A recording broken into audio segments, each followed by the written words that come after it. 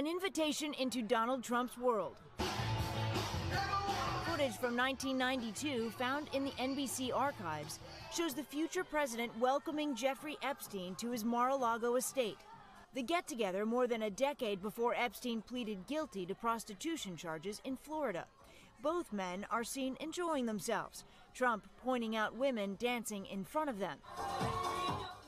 An apparently friendly encounter with a man the president is now looking to distance himself from. Well, I knew him like. Now to stunning new developments in the trial of Ghislaine Maxwell, a woman identified only by the pseudonym Jane. She says disgraced financier Jeffrey Epstein took her to meet Donald Trump in the 1990s when she was just 14.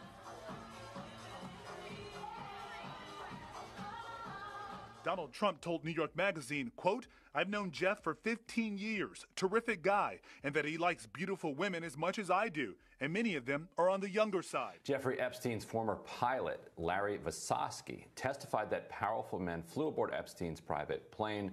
We already knew that, but some of the names he dropped in court are renowned violinist Itzhak Perlman, Prince Andrew, Senators George Mitchell and John Glenn, actor Kevin Spacey, and former presidents Donald Trump and Bill Clinton.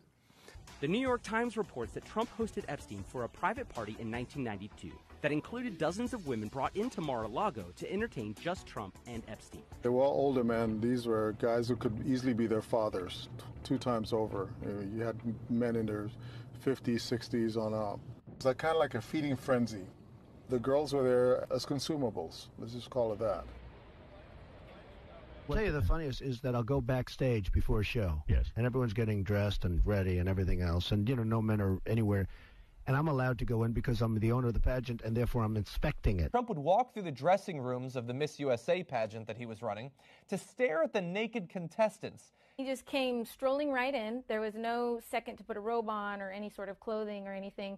Um, some girls were topless, other girls were naked. Trump caused a panic in the dressing room when he barged in unannounced as the young women some of whom were as young as 15 years old, were getting dressed. You know, I'm automatically attracted to beautiful. I just start kissing them. It's like a magnet. You just, I don't even wait. And when you're a star, they let you do it.